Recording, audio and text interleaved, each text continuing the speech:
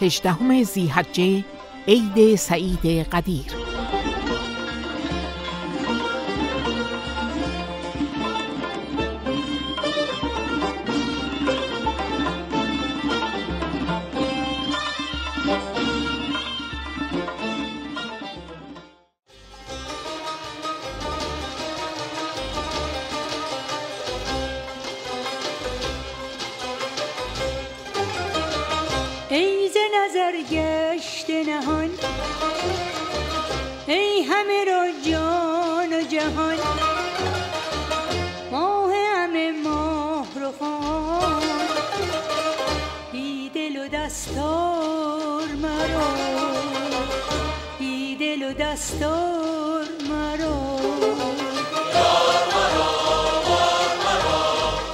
عشق جگر خار مرا.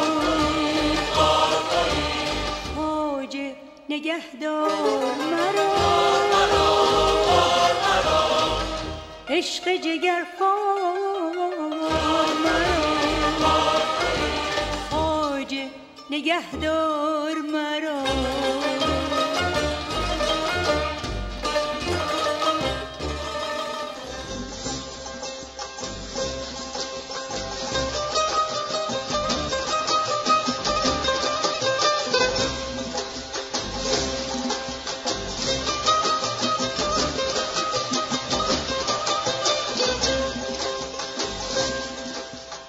سرسپار راهی گشتیم که ما را بدان فرا خوانده بودی. پس ای هدایت کننده گمراهان نور خیش را بر ما تکمیل کن.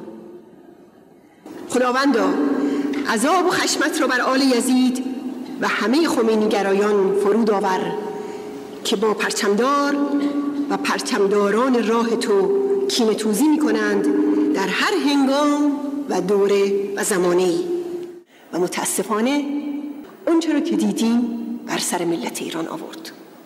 دو میلیون کشته و معلول هزار میلیارد دلار خسارت مادی اون هم در اثر جنگ تحمیلی فقط. اعدام و کشدار 120 هزار از رشیدترین فرزندان مبارز و مجاهد این خاک. نابودی اقتصاد ایران انهدام سرمایه های ملی گسترش مفاسد اجتماعی مثل اعتیاد فحشا و و و. اینها فقط بخش کوچکی از کارنامه رهبری ناحق و قاسبانه خمینی است. پس امروز خدا رو هزار بار شکر می‌کنیم به خاطر نعمت راه یافتگی.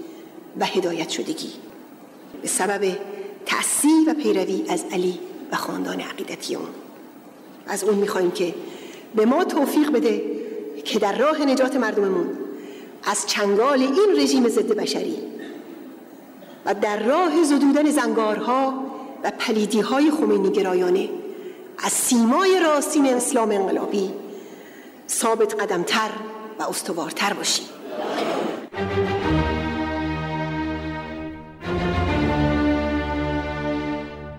عید قدیر شایان تبریک مضاعف به نسلی است که فراتر از آزادی خلق و میهن فضیلت آزادسازی یک ایدئولوژی از لوس وجود ارتجاع خمینی نصیبش شد. آینده نشان خواهد داد که کدام یکی از این طرفین متخاصم خمینی یا مجاهدین پا بر جا خواهند ماند. و کدام آینده دار خواهد بود؟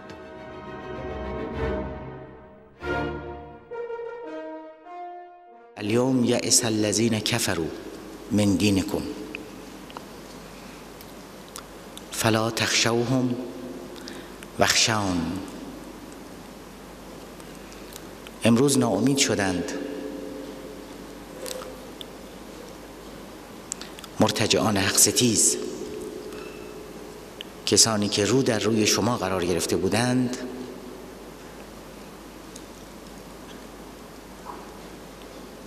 با معرفی علی علیه السلام و با تضمین آیندهداری ایدئولوژی و آینتون و تضمین این که می‌تونه نیازهای آرمانی و عقیدتی شما رو پاسخگو باشه؟ ناامید شدند. فلا تخشوهم. مبادا که از اونها بترسید. وخشام از من از خدا بترسید. هوای خدا رو داشته باشید. پروای خدا رو داشته باشید. الیوم اکملت لکم دینکم. امروز کامل تضمیندار و آینده دار کردم. و اتممت علیکم نعمتی. و نعمت خودم رو به پایان رسوندم. و رضیت لکم الاسلام دینا. و رضایت دادم به اینکه این آین و آرمان جاودانی شما باشد. در مسیر تکامل انبیاء توحیدی از حضرت موسی و عیسی گرفته تا پیامبر اسلام یعنی پیامبر خاتم. این تأکید بسیار گویاست که امروز تموم کردم و رضایت دادم به اینکه این آین و عقیده شما باشد. با دینامیزمش با سیالیتش با ظرفیت و استعدادی که برای انتباق در شرایط مختلف تاریخی درش نهاده شده.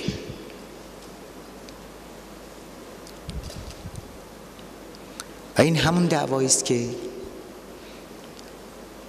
علاوه بر جنبه سیاسی و تاریخی دقیقا به لحاظ ایدئولوژیک هم بین ما بین ما مجاهدین و خمینیچی ها در جریانه و میباید که تعیین تکلیف بشه.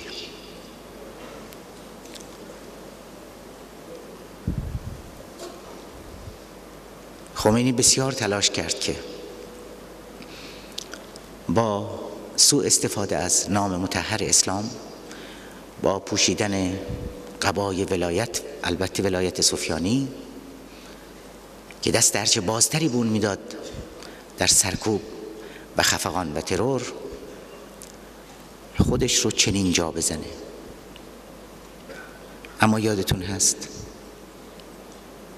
از شبهایی که بر سر قانون اساسی صحبت می کردیم در مسجد دانشگاه تهران با استناد به حکومت عدل علی. تا اون روز که در امجدیه براش نهج البلاغه میخوندیم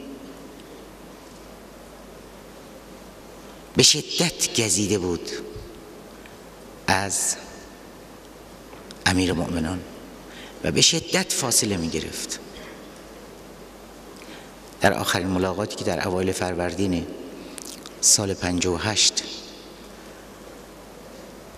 با تعدادی از برادران مجاهدمون.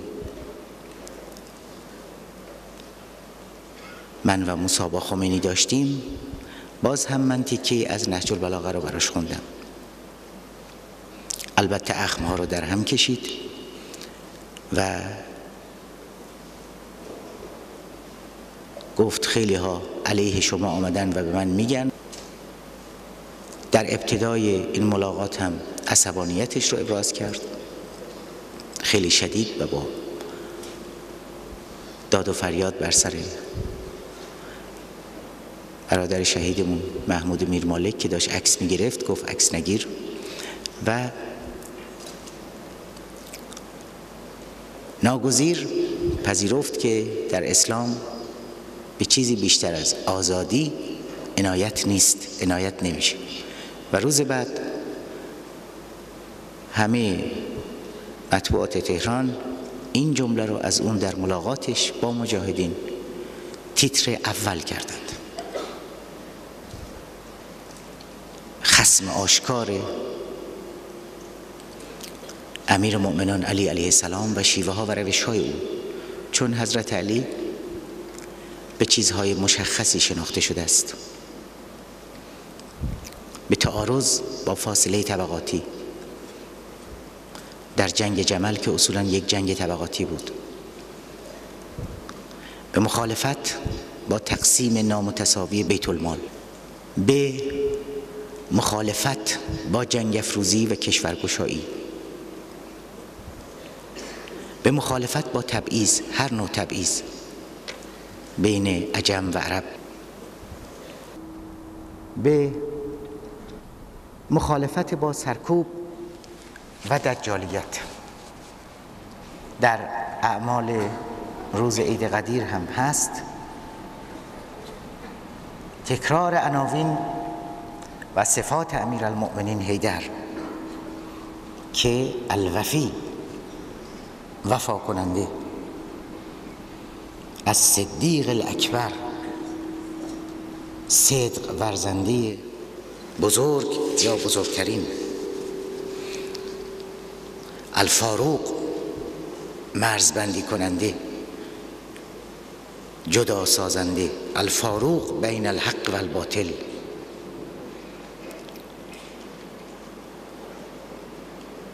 و شاهد لک گواه برای تو و پیامبرت. و دال علیک. دلالت کننده و راهنمای به سوی تو.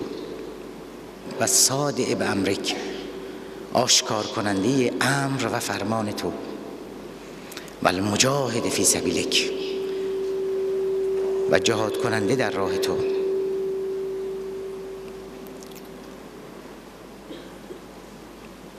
لم تأخذه فیک لومت لائم.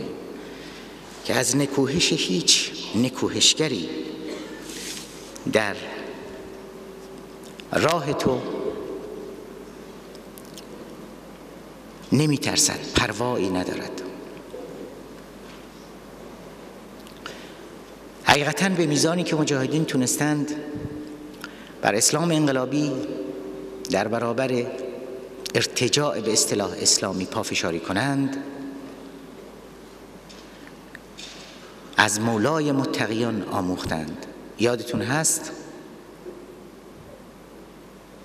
خمینی که آمده بود هم به عنوان مرجع تقلید که عکس رو در ماه می‌دیدند هم دارای مشروعیت انقلابی ناشی از سرقت انقلاب ضد سلطنتی و هم به عنوان رئیس کشور دارای مشروعیت قانونی پس ما می باید با دشمنی مهیب سربرداشته از رسوبات ارتجاعی اعثار و قرون اما دارای قدرت دینی قدرت سیاسی و قدرت قانونی هر سه در یک جا گره خورده در او. برخوردار از مشروعیت مذهبی انقلابی و قانونی. در کمتر کسی کمتر رژیمی. این سه با هم جمع اومده در روزگار معاصر و درست به همین دلیل جوابش رو هم میباید مجاهدین می‌دادند با پرچم آشورایی و سرانجام با ارتش آزادی.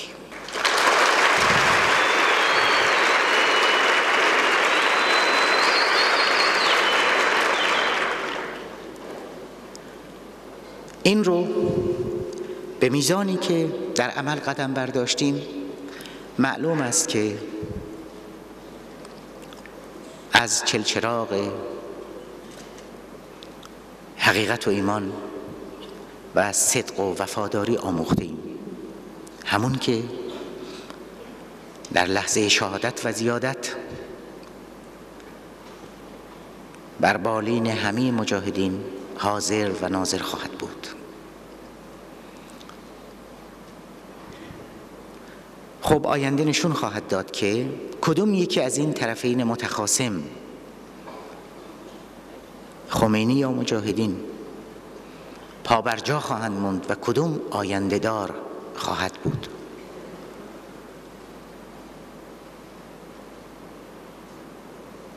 آینده نشون خواهد داد که یعنی بیشتر از آنچه طی این دو دهه ثابت شده نشان خواهد داد که کدوم یکی از اینها راست می‌گفتند صدق میورزیدند و کدوم بازتاب می‌کردند.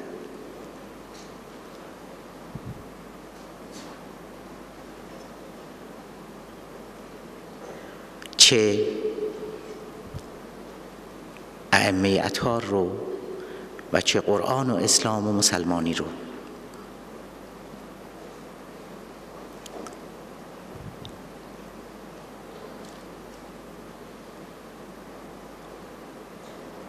خوشا نسلی که علاوه بر آزادسازی میهن و خلقش از غذا. در صدد آزادسازی یک ایدئولوژی از شرک و ارتجاع. در میان نسل هایی که پیاپی در میگذرند کمتر نسلی با این فضیلت و با این خصیصه مشخص میشه. آنچه مجاهدین از ابتلاعات گذروندند طی سه دهه و به خصوص دو دهه اخیر در زمان خمینی بسیار گفتنی است. ولی خوشا و چنان که مریم گفت شکر خدا که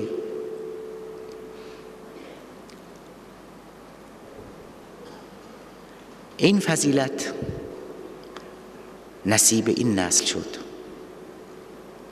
که می باید با دشمنی قدار و قهار در می افتاد که فراتر از آزادی خلق و میهن آزادسازی یک ایدئولوژی رو از لوس وجود ارتجاع خمینی در بر می‌گیره. از این نظر عید قدیر شایان تبریک مضاعفه. حجره خورشید توی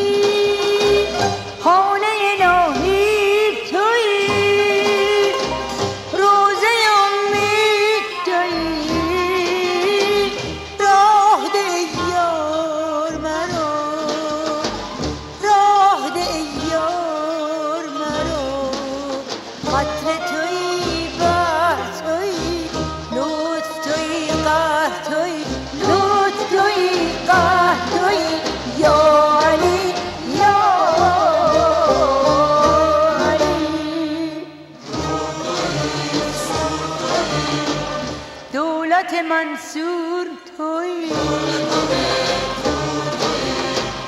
خسته به منقار مرا. عشق جگر خار